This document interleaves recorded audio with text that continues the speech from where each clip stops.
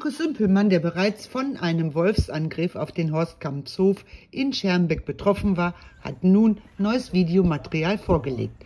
Darauf ist eindrucksvoll zu sehen, wie der Wolf den hohen, förderfähigen Zaun mühelos überspringt.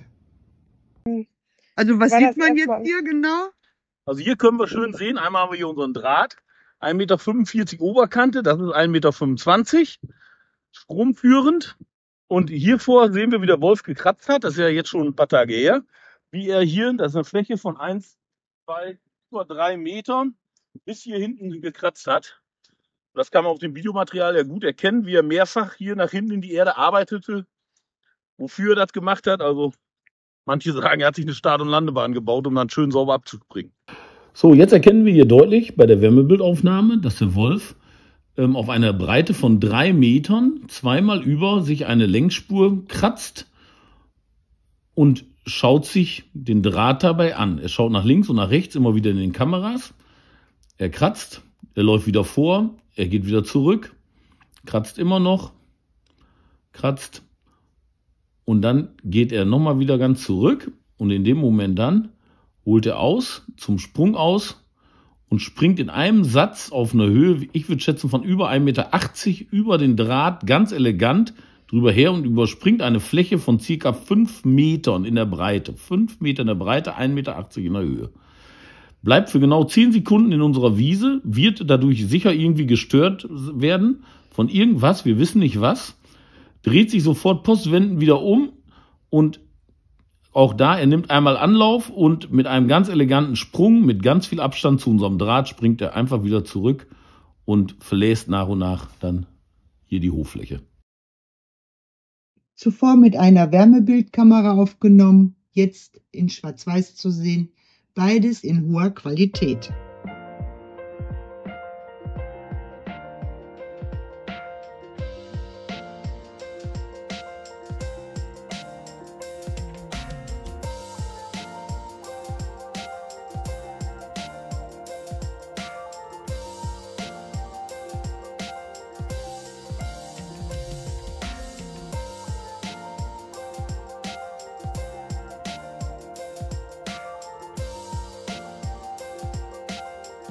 Als Landwirtin hier äh, mit dem Wolf zusammenzuleben, was sind da die Schwierigkeiten für Sie oder wo sehen Sie die Herausforderung, Frau Sümpelmann? Also ich bin überzeugte ähm, Weidetierhalterin. Also ich finde Tiere, also Kühe, Milchvieh, Rinder gehören auf die Wiese. Ich mache das gerne. Nur so weiß ich auch nicht weiter. Ähm, wir können es nicht leisten, die Kühe äh, so einzuzäunen oder auch wenn wir die Kühe so einzäunen, es reicht ja nicht äh, und noch höher äh, geht auch nicht. Und wir haben jetzt alle Tiere aufgestallt. Ähm, ich weiß im nächsten Frühjahr noch nicht, wie es weitergehen soll, wie wir die äh, Tiere raus tun sollen, ohne ähm, ja, dass die irgendwie geschützt sind. Ähm, was für mich auch noch wichtig ist, also wir sehen ja hier, ist eine Wölfin, die nicht mal versucht, unten drunter herzukommen. Also sie macht ihre Start- und Landebahn, aber ähm, so ein richtiges Graben unter dem Zaun versucht sie erst gar nicht. Ob sie den Untergrabeschutz riecht, ja, glaube ich auch nicht. Ähm, nur ganz gezielt überspringt die diesen Zaun.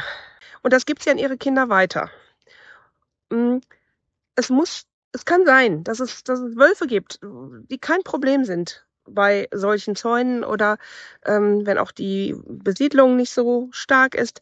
Aber hier, es muss möglich sein, dass es eine ähm, Wölfin Gloria, dass die entnommen werden darf.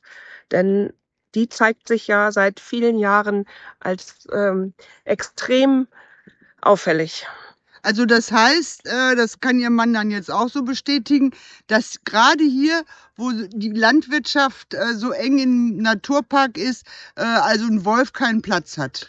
Genau, hier in diesem Gebiet, wo wir, ich sag mal, einerseits ist die Autobahn die A3, andere Seite die 31, Lippung, Kanal, ähm, oben die 67N. Das ist nun ein gewisses kleines Gebiet, das ist eine Kulturlandschaft, die wir versuchen zu pflegen mit unseren Weidetieren. Das wird alles nicht mehr möglich sein, wenn das so mit den Wölfen weitergeht. Und ich finde, jetzt ist es auch irgendwann gut gewesen. Jetzt muss auch mal irgendwann auf die Politik kommen. Eine Frau Lemken, die sagt, wir werden auch noch mit dem Wolf fertig. Ich sehe nichts, ich höre nichts, es passiert nichts. Wir haben jeden Tag nur neue Probleme damit. Und da muss jetzt endlich mal von der Politik ein Handeln kommen. Das heißt also nicht, dass sie jetzt äh, unter Wolfshatzer gehen, sondern es äh, geht einfach um eine ähm, normale und gute Regulierung. Genau. Ich habe gar nichts gegen den Wolf und einzelne Wölfe kann mit Sicherheit unser Land vertragen. Alles gar kein Problem. Aber so wie es jetzt hier läuft, unkontrollierte Vermehrung, das geht so nicht. Wo, wo kommen wir da hin? Und man sieht ja, in, ich in den Raum Schermbeck, wie viele Schafhalter haben schon die Schafhaltung eingestellt? Da hört man so in den Medien nichts von. Nee, aber die hören einfach auf. Die geben ihre Schafhaltung auf. Und wenn ich das sehe, hier bei uns, wir haben hier 20.000 Euro dazugetan zu dieser rausgeschmissenen 10.000 Euro Fördersumme. Für das Geld hätten wir den schönsten Husqvarna Mähroboter von Firma Husmann kaufen können, da wäre die Wiese auch sauber gemäht gewesen. Der Wert der Schafe dahinter, das sind 1.000 Euro. Wofür macht man das denn dann? Wir haben da ein bisschen Spaß dran, deswegen macht man sowas, aber so geht das nicht. Eigentlich ein schöner Freilauf für die ganzen Rinder, so wie das auch äh, artgerecht sein soll oder könnte. Aber da hier der Wolf sich regelmäßig in nächster Nähe rumtreibt, bleibt der Familie Sümpelmann natürlich nichts anderes übrig, als die Kühe im Stall zu lassen.